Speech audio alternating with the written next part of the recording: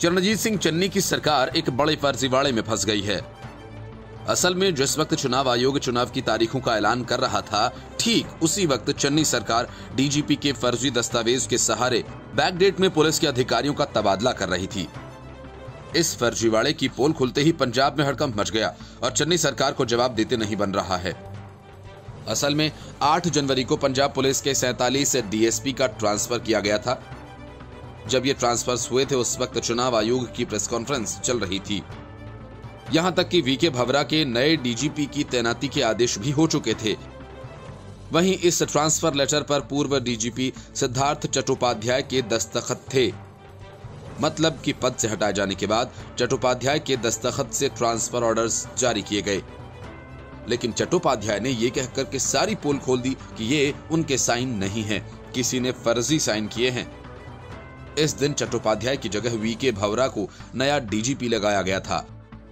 Punjab police में transfer के ये आदेश उस वक्त हुए जब ये स्पष्ट था कि थोड़ी देर में पंजाब चुनाव को लेकर आचार संहिता लगने वाली है। इससे पहले ही चुनाव आयोग ये घोषणा करता कि अब आचार संहिता लागू हो गई है, ये आदेश सामने आ गए, जिसको लेकर उसी वक्त सवाल खड़े होने लगे थे।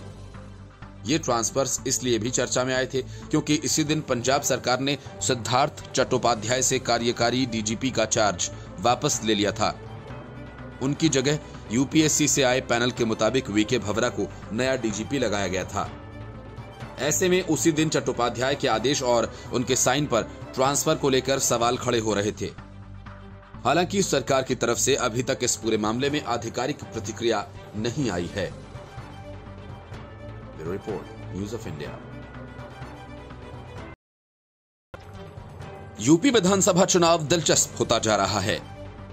एक तरफ़ जहाँ राजनीतिक क्षत्रपों के बीच जबानी जंग दिन ब दिन गोली की रफ्तार से आगे बढ़ रही है तो वहीं दूसरी तरफ़ जैसे जैसे चुनाव की तारीख नज़दीक आ रही है, भाजपा का परचम भी बुलंद होता जा रहा है। इस चुनाव में भाजपा की सीधी टक्कर सपा से है। क्योंकि बीएसपी और कांग्रेस तो पहले से ही पस्त पड़ी हाफ़ रही हैं। लेकिन खुद को मुकाबले में बढ़ चढ़कर दिखाने वाले अखिलेश यादव का भी दम उसी दिन निकलना शुरू हो गया था, जब आयकर विभाग के छापों में समाजवादी पार्टी के नेताओं के घर से बेहिसाब दौलत मिलनी शुरू हो गई थी। और अब बची खुची कसर योगी आदित्यनाथ निकाल रहे हैं। अगर यकीन नहीं आ रहा है तो मथुरा के इस वाक्य को ही देख लीजिए। यहाँ सीएम योगी से जब सवाल पूछा गया कि आपके एक सांसद कह रहे हैं कि उनको भगवान कृष्ण का सपना आया कि योगी जी मथुरा से चुनाव लड़ें तो इस पर योगी आदित्यनाथ ने एक ऐसा तंज भरा जवाब दिया कि अगर वहाँ कोई समाजवादी पार्टी का नेता या कार्यकर्ता मौजूद होगा तो शर्म से पानी पानी हो गया होगा। योगी ने कहा कि जब कंस की मूर्ति लगाने वालों के सपने में भगवान कृष्ण आ सकते हैं तो अपने भक्तों के सपने में कृष्ण क्यों नहीं आएँगे? बीजेपी सांसद के सपने में तो भगवान कृष्ण आए ही होंगे। ये बिल्कुल सच हो सकता है। लेकिन मैं चुनाव वहाँ से लड़ूँगा जहाँ से मेरी पार्टी कहेगी। योगी के इस जवाब से सपा समर्थकों में खलबली मचना तय था, लेकिन वो बेचारे करते भी तो क्या। आखिर योगी ने कुछ झूठ तो कहा नहीं था। अगर किसी को भी योगी की बात पर जरा भी संदेह हो तो जरा याद कर लें कि 2016 में अखिलेश के खासम खास रहे रामवृक्ष यादव ने किस तरह जवाहर बाग की घटना को अंजाम दिया था और कई दिनों तक मथुरा को बंधक बनाए रखा था। फिर भला, अगर योगी ने अखिलेश यादव और सपा नेताओं को कंस का उपासक बता दिया तो क्या गलत कह दिया? रिपोर्ट न्यूज़ ऑफ़ इंडिया आम आदमी पार्टी पर विधानसभा चुनाव में एक बार फिर चुनावी टिकट करोड़ों में बेचने के आरोप लगे हैं। आरोप लगाने वाला विपक्ष नहीं, बल्कि आम आदमी पार्टी के ही कार्यकर्ता हैं। चंडीगढ़ में प्रेस कॉन्फ्रेंस करके आम आदमी पार्टी के कार्यकर्ताओं ने पार्टी नेतृत्व पर करोड़ों में टिकट बेचने के आरोप लगाए। साथ ही ये मांग की कि पार्टी को अब इस नीति को खत्म करना चाहिए। पार्टी के मोहाली ज़िले के युवा प्रकोष्ठ के अध्यक्ष गुरतेज सिंह पन्नू और उपाध्यक्ष शीरा भाणबौरा ने प्रेस कॉन्फ्रेंस कर अपनी बात रखी। इसके एक दिन पहले ही बलबीर सिंह राजेवाल ने केजरीवाल पर टिकट बेचकर करोड़ों की उगाही करने का आरोप लगाया था। अरविंद केजरीवाल फ़िलहाल कोरोना से पीड़ित हैं और हाल ही में उन्होंने चंडीगढ़ में नगर पालिका चुनाव में अच्छा प्रदर्शन बनने के बाद वहाँ विजय यात्रा निकाली थी। आरोप लगे थे कि कोरोना के लक्षण आने के बावजूद उन्होंने रैलियाँ की और लोगों से मिलते जुलते रहे। अब उनकी ही पार्टी के कार्यकर्ता प्रेस कॉन्फ्रेंस करके अपनी ही पार्टी की पोल खोल रहे हैं। करोड़ों रुपए लेकर टिकट बेचने का आरोप लगाया जा रहा है। यही है उनकी बदलाव वाली राजनीति। चंडीगढ़ में आम आदमी पार्टी से कम सीटें होने के बावजूद भाजपा अपना मेयर बनाने में कामयाब रही। जिसके लिए भी पार्टी के कार्यकर्ता अंदरूनी कलह को दोषी ठहरा रहे हैं। शिरोमणि अकाली दल ने केजरीवाल पर टिकट बेचने के आरोप लगाए। पार्टी के प्रवक्ता दलजीत सिंह चीमा ने कहा कि चुनाव आयोग को इस मामले में संज्ञान लेकर मामला दर्ज करने के आदेश देने चाहिए। क्योंकि आम आदमी पार्टी ने अपने पैम्फलेट्स में अन्य दलों से पैसे लेकर उसे वोट देने की सलाह लोगों को दी है। चीमा ने कहा कि ये स्पष्ट है कि पार्टी के टिकट्स बेचकर अरविंद केजरीवाल खुद को अमीर बना रहे हैं। आम आदमी पार्टी यही मॉडल हर जगह फॉलो कर रही है। इसलिए जहाँ जहाँ चुनाव लड़ रहे हैं, टिकट्स बेचे जा रहे हैं। विपक्षी नेताओं के खिलाफ झूठे आरोप लगाने के लिए तकनीक का इस्तेमाल किया जा रहा है। ये करोड़ों रुपए का घोटाला है, जिसकी पोल उच्च स्तरीय जाँच के बाद ही खुल सकती है। वो चुनाव में अमीरों पर दांव लगा रहे हैं, उनका दिल्ली मॉडल पूर्ण रूप से फ्लॉप है। इसलिए पंजाब की जनता को दिखाने के लिए उनके पास कुछ नहीं है। हाल ही में प्रेस क्लब में राघव चड्डा की प्रेस कॉन्फ्रेंस के दौरान कांग्रेस के पूर्व पार्षद दिनेश ढल को पार्टी में शामिल करवाया जाना था। लेकिन टिकट बंटवारे को लेकर विवाद हो गया। इस दौरान पंजाब के सह प्रभारी के खिलाफ राघव चड्डा चोर है, किनारे लगाए गए। बात यहीं तक रहती तो गनीमत होती, लेकिन मामला इतना बढ़ गया कि लोगों के बीच जमकर मारपीट भी हो गई। टिकट बंटवारे को लेकर करीब 50 मिनट हुए बवाल के बाद राघव चड्ढा को पिछले दरवाजे से बाहर भागना पड़ा। प्रधानमंत्री नरेंद्र मोदी आखिर इतने विराट व्यक्तित्व के मालिक कैसे बन गए? यह सवाल ऐसा है जिसकी गुत्थी सुलझाने में गांधी वाड्रा से लेकर ममता बनर्जी तक और केजरीवाल से लेकर अखिलेश यादव तक अपना सिर खपा रहे हैं। लेकिन अगर आपको यह समझना है तो जरा इस खबर पर अपने कान लगा दीजिए। इस ठिठुरन भरी ठंड में जब पारा लगातार पाँच डिग्री से नीचे चला रहा है और रजाई से बाहर झांकने तक का मन नहीं हो रहा है, काशी विश्वनाथ धाम में काम करने वाले कर्मचारी नंगे पैर महादेव की सेवा में समर्पित रहते हैं। दरअसल भगवान शिव की नगरी में काशी विश्वनाथ धाम के अंदर चमड़े या रबर्स की चप्पल पहनना मना है। इसीलिए सभी कर्मचारी, चाहे कोई भी मौसम हो, हमेशा नंगे पैर ही रहते। संपूर्ण सेवा भाव के साथ काम करते रहते हैं। लेकिन इस कड़ाके की ठंड में पीएम मोदी ने उनकी सुध ली है। मोदी ने जूट की बनी सौ जोड़ी चप्पलें बाबा के धाम भेजी हैं, जिससे कि वहाँ काम करने वाले कर्मचारियों को इस भयंकर ठंड से कोई कठिनाई ना हो। जिन लोगों के लिए जूते भेजे गए हैं, उनमें पुजारी, सेवा करने वाले, सुरक्षा कर्मी, सफ़ाई कर्मी और अन्य लोग शामिल हैं। आपको बता दें कि भगवान शिव के अनन्य भक्त मोदी का काशी विश्वनाथ धाम से गहरा जुड़ाव है। वे वाराणसी में सभी मुद्दों और घटनाक्रम पर बहुत करीबी से नज़र रखते हैं।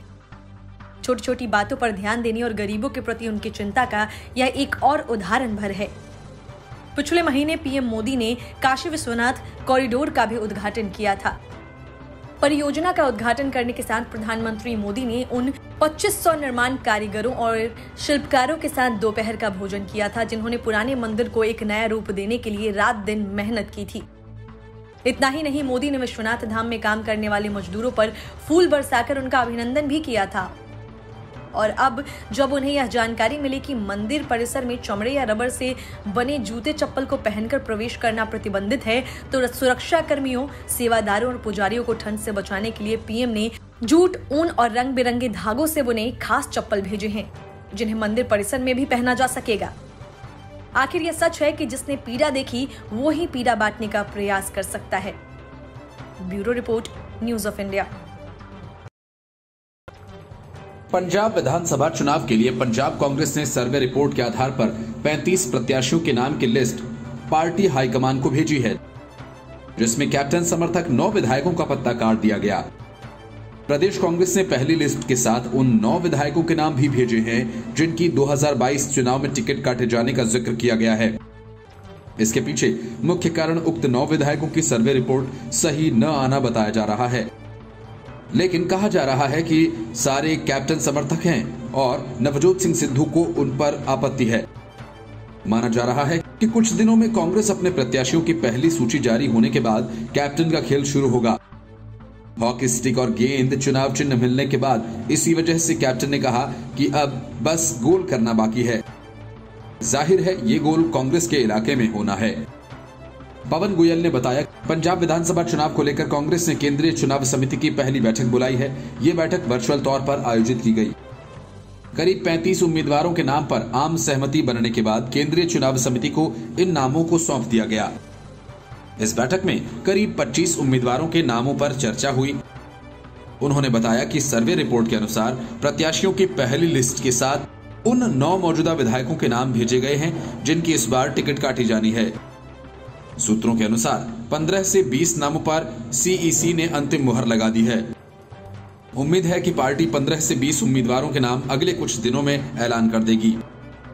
वहीं दूसरी ओर स्क्रीनिंग कमेटी के अध्यक्ष अजय माकन ने यह पहले ही साफ़ कर दिया कि पंजाब में एक परिवार से एक ही सदस्य पार्टी का उम्मीदवार बनाया जाएगा। पार्टी इसका कड़ाई से पालन करेगी। सूत्रों के मुताबिक, जिन विधायकों के टिकट कटने की बात कही जा रही है, वे पूर्व सीएम कैप्टन अमरिंदर सिंह के करीबी बताए जा रहे हैं।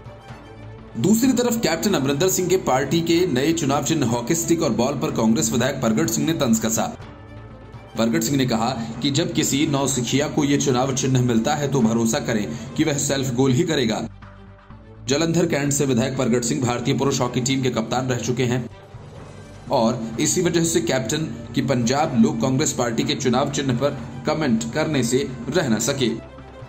हॉकी कैप्टन परगट सिंह और कैप्टन अमरिंदर सिंह की पुरानी जंग चल रही है। अमरिंदर सिंह सीएम रहते भी परगट सिंह उन पर हमला करते रहे। परगट सिंह को पंजाब कांग्रेस प्रधान नवजोत सिद्धू का करीबी माना जाता है। जब कैप्टन अमरिंदर सिंह को हटाने के लिए कांग्रेस में बगावत हुई तो उसमें भी परगट सिंह शामिल रहे। परगट ने कैप्टन के खिलाफ खुलकर मोर्चा खोला था, जिसका इनाम भी उन्हें मिला और चरणजीत चन्नी के सीएम बनते ही न केवल वे मंत्री बनाए गए, बल्कि इसके इच्छा के अनुसार उन्हें खेल और शिक्षा जैसे अहम मंत्रालय भी दिए गए। कैप्टन अमरिंदर सिंह के चुनाव चिन्ह और परगट सिंह को लेकर सबसे पहले अकाली दल ने तंज कसा था। अकाली दल के प्रवक्ता डॉक्टर दलजीत चीमा ने कहा कि हॉकी के कैप्टन यानी परगट सिंह कांग्रेस में चले गए, और अब कांग्रेस के कैप्टन यानी अमरिंदर सिंह को हॉकी खेलनी पड़ेगी। इसी के मद्देनजर पंजाब विधानसभा चुनाव के ऐलान से ठीक पहले कांग्रेस पार्टी ने सुबह 11 बजे ये बैठक की। गोयल ने बताया कि पार्टी के सीईसी बैठक से पहले उम्मीदवारों के नाम चयन को लेकर पंजाब की स्क्रीनिंग कमेटी अब तक चार दौर की बैठकें दिल्ली में कर चुकी है। इसी कमेटी के अध्यक्ष अजय माकन ने पंजाब के प्रभारी हरीश चौधरी, मुख्यमंत्री चरणजीत सिंह चन्नी, पंजाब कांग्रेस के अध्यक्ष नवजोत सिंह सिद्धू के कैंपेन कमेटी के चेयरमैन सुनील जाखड़ और अन्य कई नेताओं के साथ चर्चा की।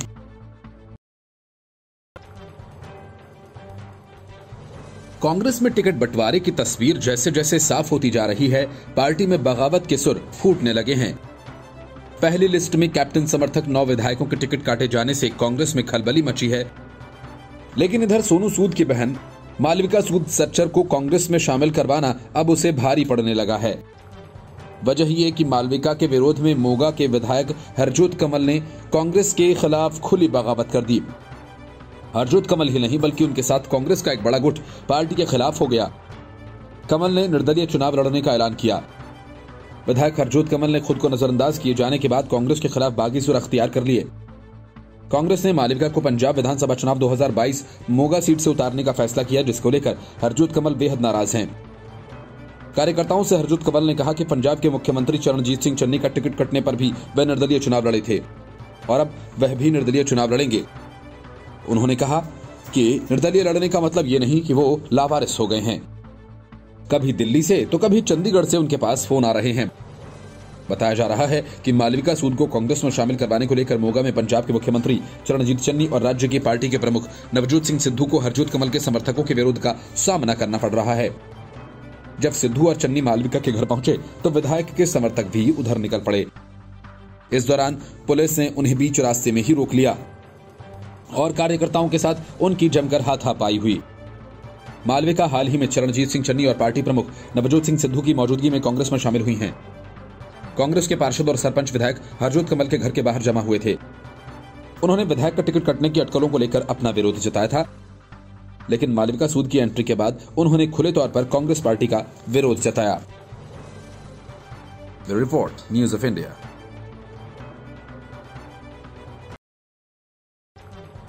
CM Uddhav Thackeray की अनुपस्थिति में मंत्रियों के साथ शरद पवार की बैठक के बाद महाराष्ट्र का सियासी पारा आसमान पर पहुँच गया।